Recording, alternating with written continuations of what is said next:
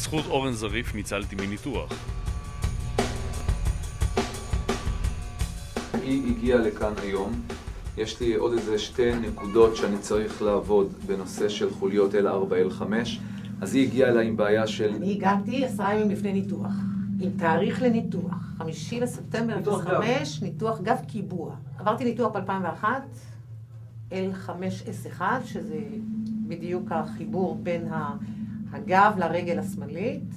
נותחתי, ואחרי שנתיים קיבלתי דיאגנוזה שאני צריכה ניתוח נוסף שנקרא קיבוע. סחבתי, סחבתי, עד שהגעתי למצב שאני לא יכולה לעמוד על הרגליים. שכבתי במיטה, אחרי בית חולים, עם זריקות, עם טיפול דרך הברית, חומר דרך הברית, וקראתי עיתונים במסגרת השכיבה במיטה, והגעתי לשם שלו. טוב, אני אלך, כי אני לא בן אדם שמאמין, ולא בן אדם שרואה את הדברים האלה. והלכתי. אני עומדת על הרגליים היום, אני מקצרת לך את הסיפור, אני לא עושה את הניתוח, אני יכולה לגלות לך סוד, אני גם רוקדת סלס, סלסה, וחבל על הזמן, אין מילים. יש פה פציינטית, שוב אני חוזר, שהגיעה עם בעיה של פריצת דיסק L4, L5.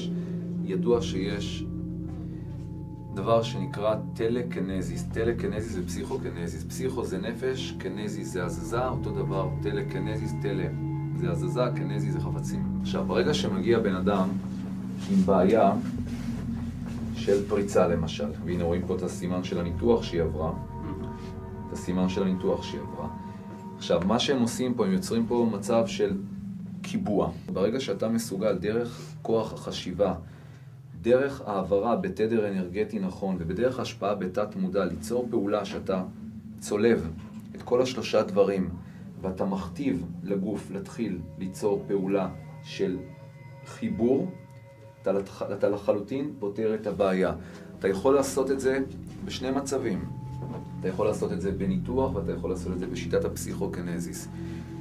אני יכול לומר לך שהצלחתי בסוג של, בעי- בבעיות מן הסוג הזה בצורה לא רגילה. זה עבד בצורה מדהימה, זה נתן אפקט פשוט אדיר עם המון אנשים שהגיעו עם פריצות דיסק, חוליות, דברים מהסוג הזה. לומר לך שטיפלתי בכל מי שהגיע לו, היו גם אנשים שראיתי את המצב שלהם ואמרתי להם, חבר'ה, אתם הולכים לניתוח. מה שאני הולך לעשות כרגע זה טיפול קצר מאוד, זה נקרא טיפול בחדירה. מה שאני מבצע פה, אני הולך ואני פשוט קושר את כל החוליות על מנת שהיא תוכל לעמוד על הרגליים וליצור פעולות יותר טובות עם ההליכה ועם הגוף.